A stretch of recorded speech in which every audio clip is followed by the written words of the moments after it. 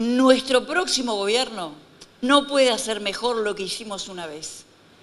Tiene que hacer las cosas distintas, con un profundo sentido humanista y realista, de realidad, de profundo pragmatismo, y con un elemento fundamental ineludible, ineludible, la participación, que es la única garantía de perdurar.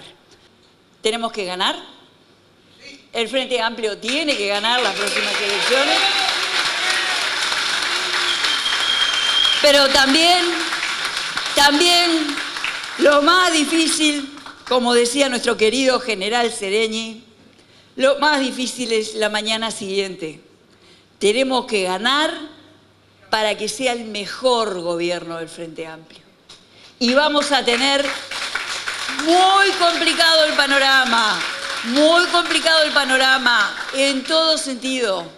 Pero estoy segura, tengo confianza y tengo esperanza que unidas y unidos, no los frente amplistas, las uruguayas y los uruguayos, y de eso depende la política que hagamos nosotros, unidas y unidos, con un rumbo claro, con transparencia, con transparencia, vamos a volver al Uruguay, al lugar de la esperanza, porque ¿quién se hubiera imaginado, compañeras y compañeros, que algo que empezó aquí en Cardal, se iba a transformar gracias a un rumbo y a una política de Estado en el maravilloso Ceibal,